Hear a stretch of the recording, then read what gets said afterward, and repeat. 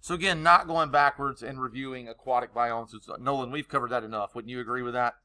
Um, but yesterday we started terrestrial biomes, terrestrial biomes, and those are the ones that are related to land. Again, I repeat this Veda because I think this is really important. You're going, you're doing all these Google Docs, right? And the first one you're going to do is grasslands. And some of you with these like two and three sentence, quote unquote, paragraphs aren't cutting it. Again, a grassland is a terrestrial biome, period. Terrestrial means having to do with land, period. You've already got two sentences in the grasslands. And then I can go ahead and tell you, in a grassland, the most important plant life is grass. There's three sentences. I mean, it's not hard to do these, these Google Docs. Some people are making it way too difficult. So again, we went through grasslands yesterday, and they're called grasslands. And we kind of laughed at the uh, the Bill Nye video when he talked about wetlands because it was wetlands that were wet. These are lands that have a lot of grass. Okay, there are some trees, but not a whole bunch. And we went through all the different things that happened inside of a grassland yesterday, and I think this is extremely important for us to understand. To live in a grassland, you have to have very special adaptations. The grass has to have a very special adaptation because of that we went through the fact that grasslands have very specific abiotic factors yesterday. That it has two different seasons in North America in the prairie we're talking about because we'll get to the savanna after that today. Um, it has like super cold winters where it snows a lot. That's where they get most of their precipitation and some pretty hot summers up to 100 degrees.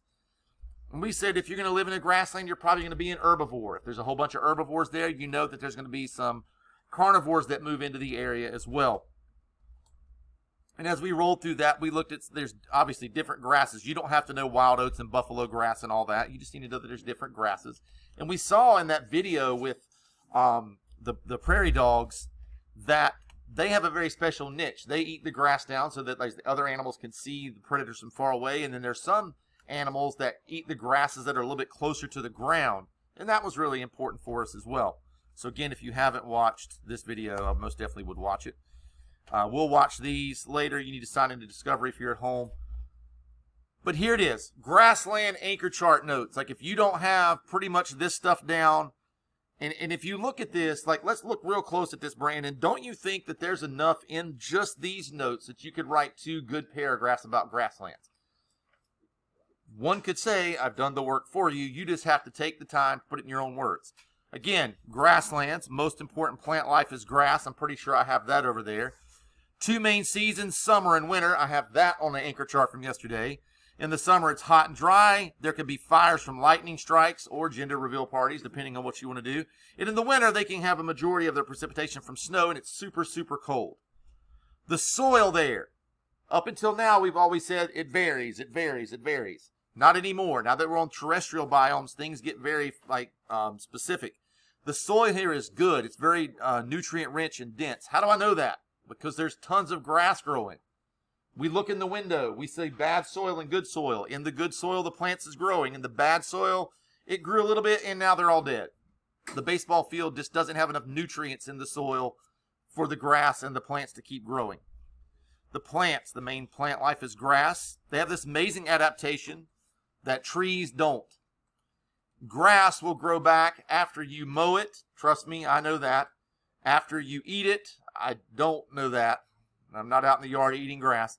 And even after a fire. And I've seen that up on top of Pilot Mountain, where like the place is burned down up there, the grass has already grown back. The, the trees have not. Many, many herbivores there. You have to adapt to live in a grassland because there's no trees and not a whole lot of places to hide, no cover. So you either have to be fast like a deer or live underground like a groundhog or a prairie dog. Right? And even if there was a wildfire, if you can go underground, you're probably going to be okay if it's deep enough, wouldn't you? It'd be you'd be protected. So that moves us today into a new type of grassland. The one that you were probably thinking of when I first mentioned this is, and that is the savanna. The savanna. Again, it's still a grassland because it's comprised mostly of grass. There are some trees. I see some trees, but I see more grass than anything else. Savannas cover half of the surface of Africa. Lots of Australia, tons of South America and India, and it's a lot of Earth's surface is grasslands. An important factor in the savanna is the climate. The climate is usually warm all year round, between 70 and 86 degrees, pretty much all year round.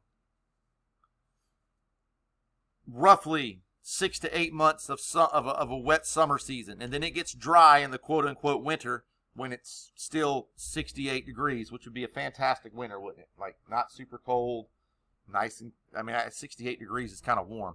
Now, the dry part is kind of bad. If you go four to six months without a whole lot of rain, you're going to have droughts, you're going to have dry spots, and we'll get into that.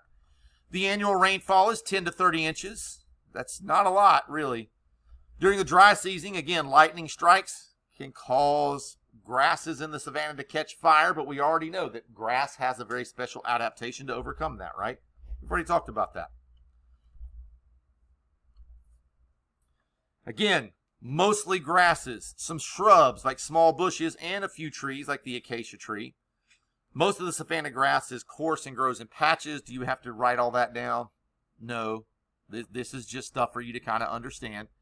Um, again, because they don't get enough rain, they really don't have a whole lot of trees because trees are huge plants. They require lots and lots of water unless they have adapted to live in that. One tree in particular is the acacia tree.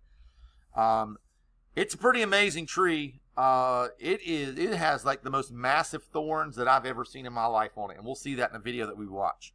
It's also a favorite um, treat of the giraffes. They love to eat the acacia tree, and we'll get into some really crazy adaptations that the acacia tree has later on. You're welcome to put those crazy adaptations in your notes if you want to, but we'll get to that here in a little bit. We'll watch this video on the giraffe and the acacia tree in just a few minutes. Different types of animals in the savannah. We're talking elephants, zebras, lions, giraffes. If it's in a Disney movie, it's probably in the savannah, right? Think Lion King, you're thinking savannah animals, right? These animals have to adapt to the rainy season and the dry season. Meaning during the dry season, if there's no water around, you're probably going to migrate to somewhere where there is water. They will move around. You can't survive without water. It doesn't work out. Herbivores don't have much cover to hide from predators, but the predators have to overcome that as well, don't they? Because they don't have anywhere to hide and jump out and ambush things either. So camouflage is a major adaptation for the herbivores and the uh, carnivores. Look at those two. You have this gazelle and this lion. They're both pretty much the same color as that grass behind them, aren't they? Yes, I see them, but if they are laying low and not moving, I probably could walk past one of them and not see it. We'll watch these videos. We'll look at all this stuff here in just a second. And hold up, we got to go back.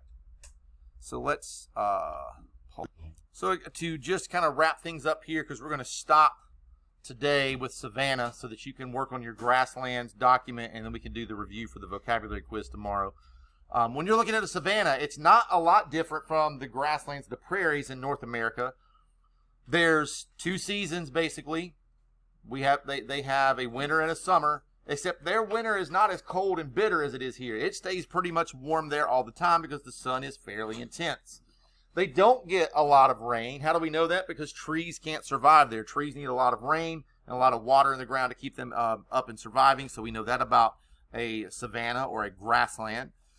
The biotic factors are mostly grasses, although there's some trees. The acacia, uh, it has adapted to live there.